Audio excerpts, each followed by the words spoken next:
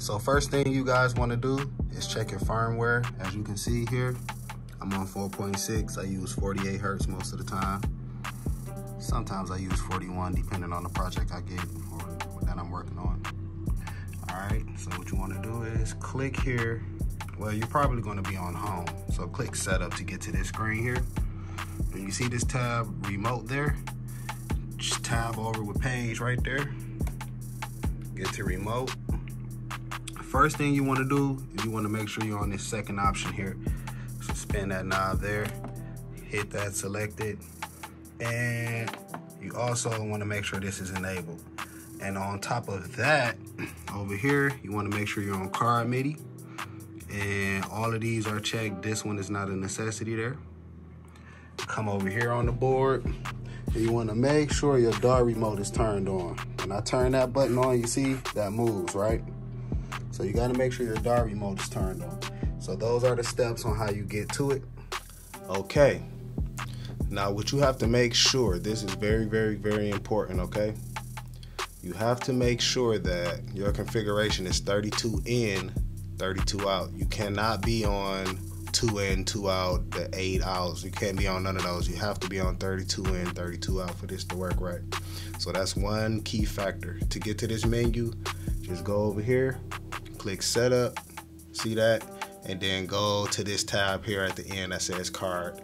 Then come over here and select 32 in and 32 out for the configuration, okay?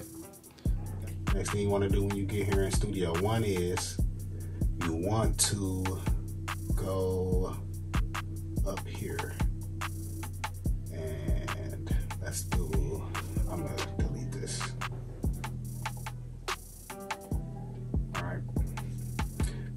up here to control, click that, add a device, click on new control surf surface and X32.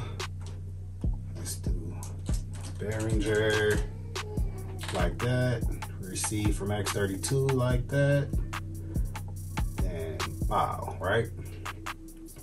Next thing we want to do is, first thing you want to do is go back up here. Bring. Okay, now once you get in Studio One and you set up that X32 and that Behringer part, unclick this, okay? Because you don't have to use this if you want to use all of the tracks. You want to use that bank of eight, you have to unpress this and then continue following the tutorial from there. But before you start, you have to have this engaged for Studio One to understand and pick up that you want to use this device as a remote. So if you have it off, starting off, then that's going to be bad, all right? Like that. Expand it a bit. Or to get to this menu, you can go over here, click external, right here, edit. So you want to go to MIDI Learn and take your time and go through each track like this. One, two, three, four, just like that.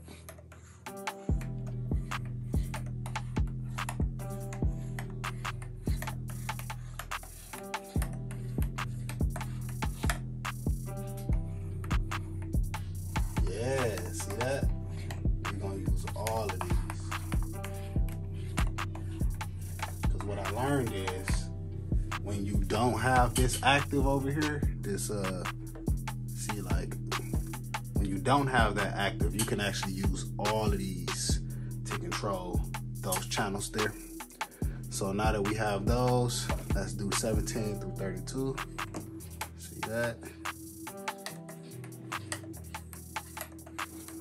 So we actually have way more than 32 tracks that we can control. Here. Here. Let's go back. And we also can do mute buttons. See that?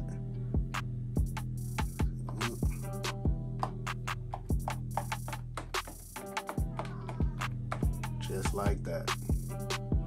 All right.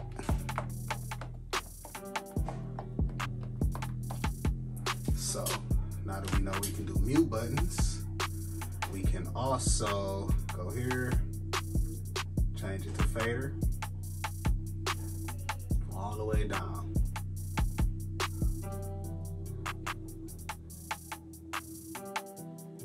But clearly when we get down here to the view tracks, we want to do a button press and release for that, right? Now, how you assign these, because I'm not gonna do them all, you can also name it like CH one, right? Channel one. So now what you do, you do that, and you also come over here like this, you wanna go here, right click that, channel one. See, there we go. We're moving it, got me? Same thing for channel two, move it like this, go here. Gotta click on the fader though. Here, fader. Here, click on the fader. See, you just have to manually do it. It can be done. You can use this side. I don't know why people just immediately jumps over here because that's just like the out the box way to do it. But yeah, you can definitely do this. Get your tracks going. Also with your mute here, when you do your mute button, you want to go here, right click on the mute, sign that there. See that? Only thing with the mute button, you have to double click it to get it to mute and get it to turn off. So, you know. So that's how you do it. Like, comment, and subscribe if this helped you out.